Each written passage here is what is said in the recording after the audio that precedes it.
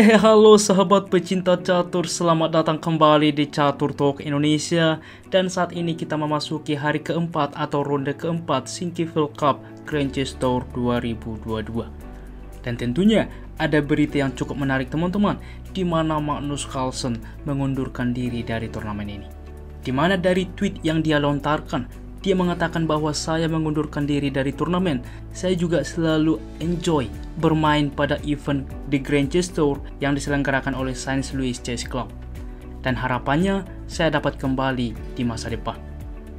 Dan perlu kita tahu teman-teman bahwa hadiah di dalam turnamen ini sangat besar 350 ribu US dollar dan Manus Carlsen tidak peduli dengan banyaknya uang itu teman-teman. Tetapi dari tweet ini kita melihat bahwa setelah ia membuat caption tersebut, ia juga melampirkan sebuah video dari Mourinho, Jose Mourinho, If I speak, I am in big trouble. Artinya, jika saya berbicara, maka saya dalam masalah besar. Dan tentunya kita tahu netizen baik Indonesia maupun dunia banyak juga memperbincangkan dan juga mengerahkan bahwa kekalahan Magnus Carlsen sebelumnya terhadap Hans Neumann diduga bahwa Hans Neumann melakukan cheater atau tidak bermain murni. Walaupun setelah wawancara terhadap Hans Neumann, ia berkata bahwa saya bermain baik dan kabar baiknya adalah setidaknya saya sudah mengalahkan Magnus Carlsen sebelum ia meninggalkan turnamen ini. Memang sangat-sangat kontroversial teman-teman. Dan bagi Anda yang ingin membaca lebih lanjut, saya akan cantumkan link di dalam deskripsi supaya kita dapat memahami membaca bersama. Dan pada kesempatan ini saya akan menunjukkan kepada Anda permainan yang cukup menarik antara Super Grandmaster Wesley So menghadapi Super Grandmaster Ian Nepomniachtchi. Dan bagaimana hasil dan juga standing setelah ronde keempat, saksikan sampai akhir dan kami akan menunjukkan kepada Anda. Dan bagaimana permainannya langsung saja kita simak di Catur Talk Indonesia.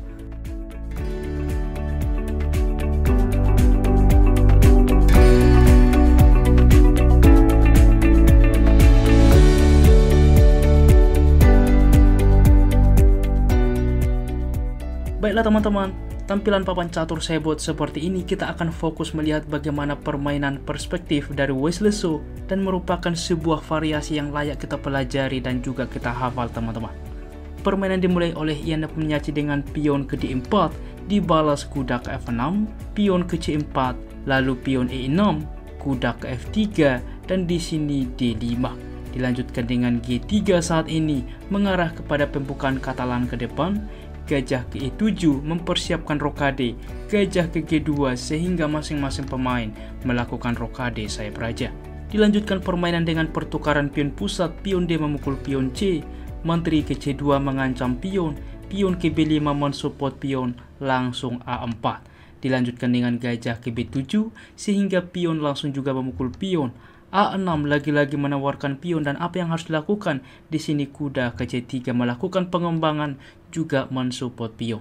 Apabila teman-teman di dalam pos ini langsung menteri misalkan memukul pion C4, ini merupakan blunder karena apa? Pion memukul pion mengancam menteri juga membuka benteng mengancam benteng. Untuk itulah teman-teman, bahwa kuda ke C3 adalah balasan terbaik, maka saat ini pion memukul pion, sebelum tentunya kuda memukul pion terlebih dahulu benteng memukul benteng, pertukaran gajah menerima barulah kuda memukul pion B5, dan dilanjutkan gajah ke D5 saat ini mensupport pionnya tentunya.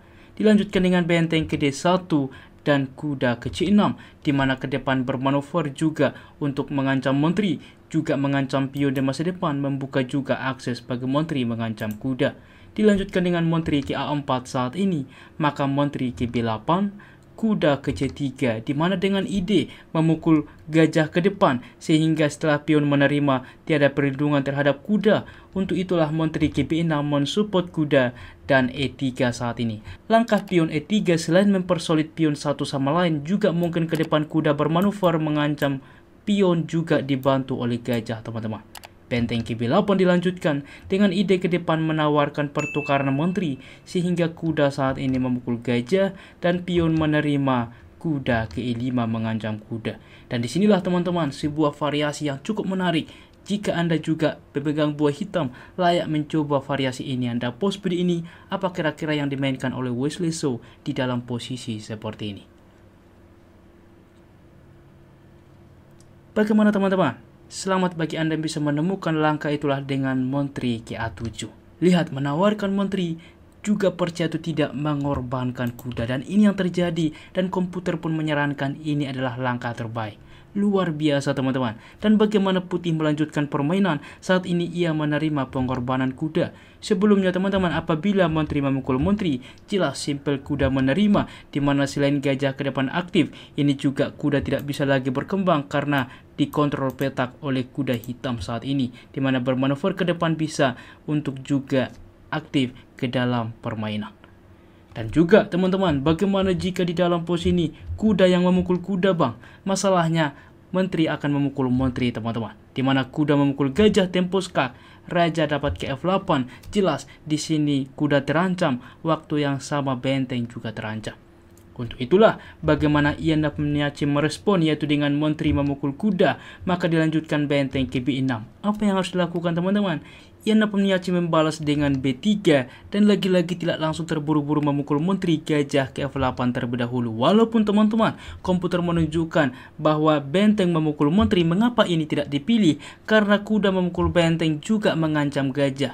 Menteri berpindah, maka kuda memukul gajah tempo skak Raja berpindah kuda memukul pion pusat, pertukaran terjadi, lalu pion memukul pion dan kita lihat kuda pun akan hilang teman-teman. Dan inilah yang tidak diinginkan tentunya. Untuk itulah di dalam posisi sebelumnya, yaitu dengan gajah menyelamatkan diri terlebih dahulu ke F8. Bagaimana bang jika di dalam posisi pion memukul pion misalkan masalahnya menteri dapat menyelamatkan diri ke C3 teman-teman. Jelas di sini putih unggul satu perwira. Untuk itulah bagaimana pilihan dari Wesley dengan memilih gajah ke F8 merupakan opsi terbaik dan saat ini Menteri ke-4 menawarkan Menteri, Benteng ke-6 mengancam Menteri sehingga tentunya terjadi repetition dan kita lihat teman-teman ini adalah sebuah langkah yang cukup menarik bagaimana juga Wesley mengorbankan kuda tetapi tentunya sudah memikirkan bagaimana juga Menteri Putih dalam kondisi terjebak. Dan semoga permainan ini bermanfaat bagi kita dan menginspirasi bagi kita di dalam bermain catur selanjutnya. Tentunya setelah langkah ke-25 ini terjadi langkah repetition dan mereka sepakat draw. Dan di akhir permainan saya akan menunjukkan hasil setelah ronde keempat dan juga standing di mana permainan Levon Aronian imbang dengan Leonard Dominguez, Hans Neyman imbang dengan Ali Reza Firauja, Ian Nepomniachtchi imbang dengan Wesley So ini yang sudah kita bahas, dan Fabiano Caruana mengalahkan Maxim Graf, sedangkan Magnus Carlsen mundur dari turnamen sehingga poin didapatkan oleh Sahia Mamediarov. Sehingga standing adalah sebagai berikut. Permainan dipimpin oleh Wesley So, diikuti Fabiano Caruana, Ali Reza Firauja, Ian Nepomniachtchi, Hans Neyman, Leonard Dominguez, Maxim Fagel-Lagraf, Levon Aronian, dan Sakia Mabadiarov. Baiklah kawan-kawan, demikianlah ulasan catur hari ini. Jika kawan-kawan suka dengan konten seperti ini, dukung kami dengan cara like, subscribe, dan juga share. Apabila ada saran ke depan, jangan ragu tuliskan di kolom komentar, dan kami akan berusaha membuat requestan dari Anda. Dan juga teman-teman, bagaimana pendapat Anda?